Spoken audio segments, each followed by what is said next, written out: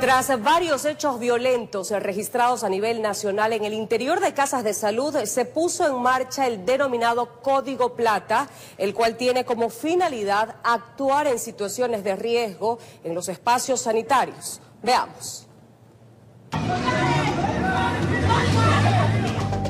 Son evidencia de la frialdad con la cual actúan estas organizaciones criminales.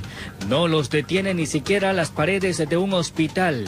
Buscan la forma de irrumpir hasta concretar el crimen. Por ese motivo, desde el mes de noviembre del año pasado, el gobierno nacional puso en marcha el denominado Código Plata, con el cual se pretende brindar seguridad en los espacios de atención médica. Diego Vallejo, director nacional de gestión de riesgos, asegura que no se trata de un plan con carácter preventivo.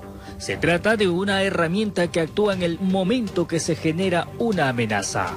Es un protocolo que tiene seis procedimientos que lo que busca es disuadir a, que las amenazas no puedan entrar a afectar de forma directa que pueden actuar con resguardo a hospitales públicos y privados, ejecutan el acompañamiento de ambulancias, entran a tomar procedimiento cuando llegan pacientes por sus propios medios y hasta en traslados de una casa de salud a otra, siempre y cuando exista una amenaza de peligro para el paciente. Tenemos al momento 23 atenciones de código plata a nivel de país que han sido efectivas.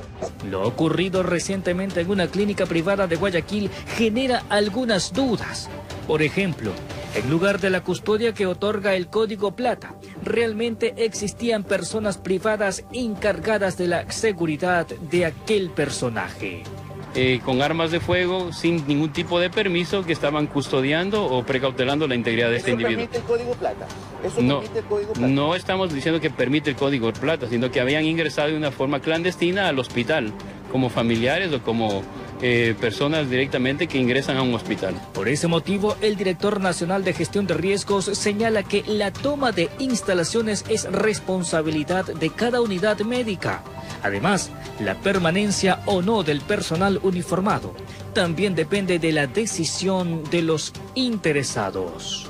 Se, eh, se, establece algo que se llama un puesto de mando unificado, ¿verdad? Donde está la Policía Nacional, donde está eh, la persona responsable de la, unidad, eh, de la unidad médica, y entre los dos conversan si las condiciones de riesgo ameritan para que se continúe.